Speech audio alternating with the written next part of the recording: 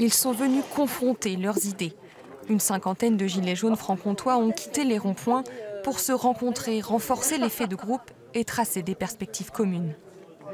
Il est important que le mouvement des Gilets jaunes soit perçu comme un mouvement qui se construit.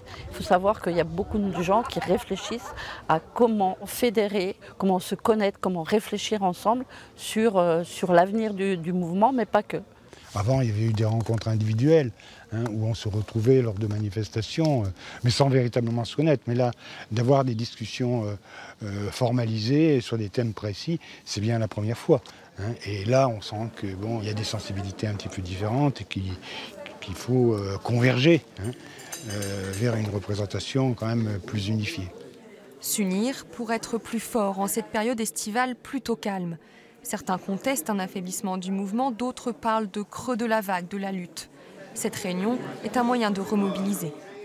Il y a quand même aussi des, des périodes, de, comme en ce moment, des périodes de vacances et tout, des gens qui sont partis, qui ne peuvent plus être sur les ronds-points, etc. Mais je pense qu'au mois de septembre, quand les vacances seront terminées, on va pouvoir relancer vraiment très fort. Une mobilisation régionale a d'ailleurs été décidée ce matin au sujet de la privatisation des aéroports de Paris et du référendum d'initiative partagée. Elle aura lieu le 14 septembre prochain.